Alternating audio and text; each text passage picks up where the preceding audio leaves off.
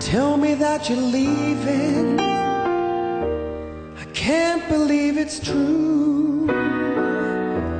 Girl, there's just no living without you.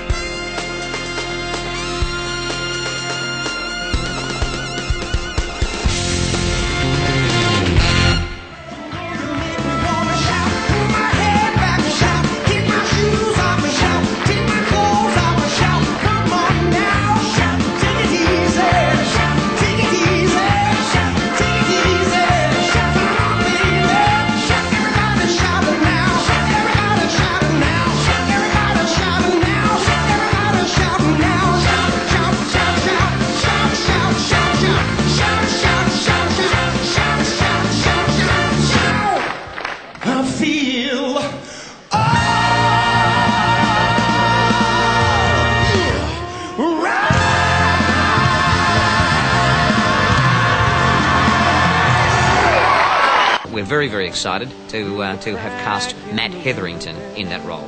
Very excited about getting the role.